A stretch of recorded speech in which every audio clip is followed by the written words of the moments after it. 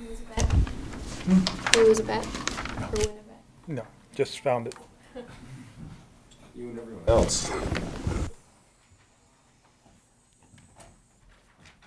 It, it looks like the offensive line's getting, getting healthier. Um, To be able to kind of survive, I guess, for lack of a better word, the past couple of weeks when you were banged up and had guys moving around, how does that speak to what Coach Matsko doing and just, Well, I think it speaks very highly of what Coach Matsko and Coach Wharton are doing with the, with the O-line. And I think it also speaks about the things that we've tried to do consciously in terms of making sure we have guys that are getting those types of practice reps early on, you know, whether it be when we start with OTAs, when we, we get into mini camp, when we have training camp, uh, preseason games, regular season games, regular season workouts, just making sure guys are getting an opportunity to, to, to be prepared just in case something happens. Um, you know, we've always kind of felt since I've been here that at some point you were going to have to use your young guys, so you got to make sure they're ready. Um, I think it speaks very well to, to being able to find those kind of guys and then get them coached up, trained, and then uh, to the player themselves for the hard work they've put into it. I, I really do. I think it's kind of all together to sit there and you know and try and say hey, it's this or this or this. I think it's it's all of it coming together um, as a, as a whole, as a unit, and then being able to take it and put it on the field. and then kind of silver lining, all those guys got all those game reps and are able to provide depth, I would imagine? Absolutely. And- And again, part of it too is when we talk about it, I know it's one of your guys' favorite subjects is position flexibility, being able to play more than one spot.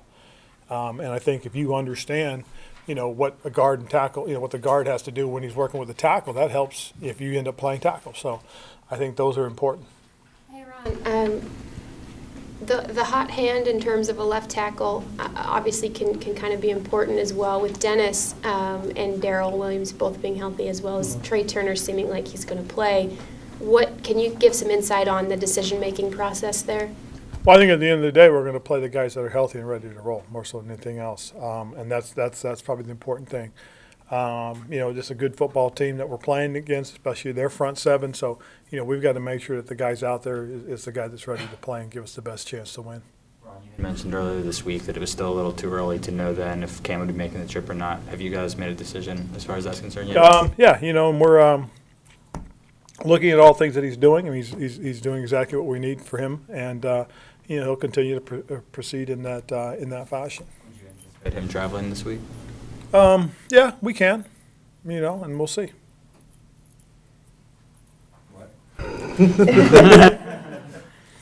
You'll know. You'll know tomorrow when we leave. James Bradberry's continuing to keep, keeps taking steps in his progression. I mean, Yes. Talk about his progression as a, as a player and where he's at right now.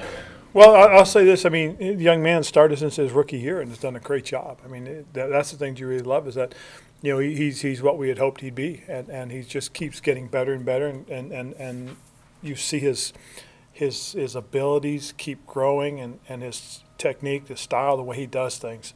Um, I think it, again, it's it's a it, it's been a, a real good testament to how hard he works, to the effort he puts into what he does, the professionalism at which he approaches things.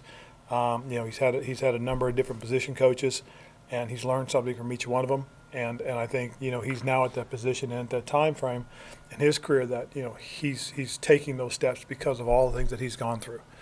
And um, and I think that really has a lot to do with his development and growth. It's just that he's taken something from everybody he's worked with. You've, uh, you coached some cornerbacks who are on the different end of the spectrum in terms of being vocal, and he's, uh, he's, he's kind of the exception maybe. He just doesn't talk a lot, but he just kind of goes about his business. I mean, Yes, um, and, and he is. You know, he, he's. It, it's funny because I, I remember having a defensive back that um, that we coached a long time ago when I was with another team, and he was what what we ended up calling a lunchbox guy.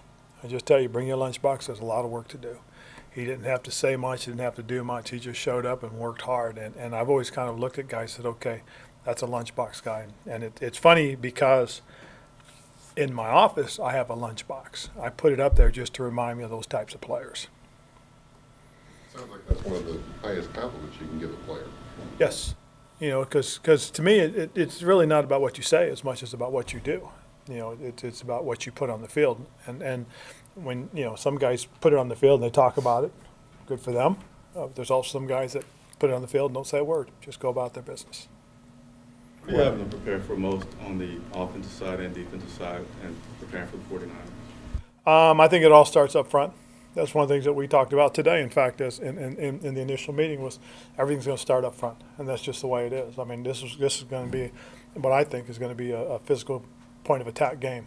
So, uh, that was one of the emphasis in, in, in our meetings this morning. You think Dortch will handle the return stuff this week? Ron? We'll see. Uh, doing a nice job. You know, we, we've, we've got several guys catching punts and, you know, he's, he's, he's out there working at it and doing a nice job. So again, we'll, uh, we'll continue to prepare and get ready for these guys. Reggie, another guy you might look at there. Um, no, um, Reggie's more of a kick returner than he is a punt returner. What's- What's the skill set differentiation between those two for you? Uh, a guy catches punts a little more naturally as opposed to a guy that, that, you know, is catching kickoffs where the ball is tumbling over the top. Coach, how much do you think that having veteran guys be able to provide the right kind of example, so like Bruce Irvin, Mario Addison, for a younger guy like Brian Burns? Um, I think it's really important, especially now. I mean, um, you know, Burns has got the, the hand, and, and when you sit there and you watch guys like Mario and, and, and Bruce who, who are coming off of you know injuries or, or have you know nicks and bumps and bruises and just work them way their way through it. You know, sometimes a guy like Brian can see that and go, you know what, I can get through this as well. Um, the professionalism in, in, in the way they approach things, I think is also important, whether it be in the locker room, in the training room, in the weight room, whether it be in meetings. The way they handle themselves in the meetings is also another thing. You know, guys that are asking questions, that guys that'll, you know, well, hey, hey, wait, I got, I got a question. You know, let's, I, I want to make sure this is correct. That helps the young guy because then the young guy realizes, hey, it's okay to say something to me. It's okay to stop the coach and ask a specific question. And that's what you want the right types of leaders to teach these young guys, and that's how to do it the right way, you know, and, and make sure that they're getting all the information they need, getting all their questions answered. Because so many of these young guys, they know how to play football, but how to be like a professional football Right. player. There's, you know, there's this, uh, there's an old saying that, um, you know, a bunch of coaches I play for, you say, some guys love being NFL football players, some guys love playing football. And you want them to be the guys that love playing the game. And, and that's what you really want. And that's what you're hoping your veteran guys are showing these guys. And that's how to play football, how to play the game. You know, it, it's interesting because one of the neat things that I learned early in my career was how to watch tape. Was being told, don't watch, don't watch the game, don't watch tape like a fan. Don't follow the ball. You know, if, if, if, if there's a big run, what's the reason why? You know, what happened to create that big run?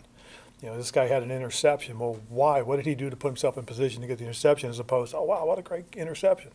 So, you know, you, you want these guys to learn early on how to do things, you know, as opposed to what's happening. You guys still have a roster spot. Is that something that'll be filled kind of based on need?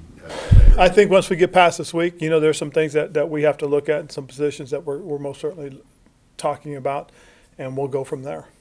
I don't know if we've asked you about Garoppolo so far this week. What, what about him impresses you? What are some of the things that he does Well, I think his decision-making, you know, he takes care of the football for the most part. Um, he makes good, quick decisions. He, he's- he's athletic, a lot more athletic than people give him credit for.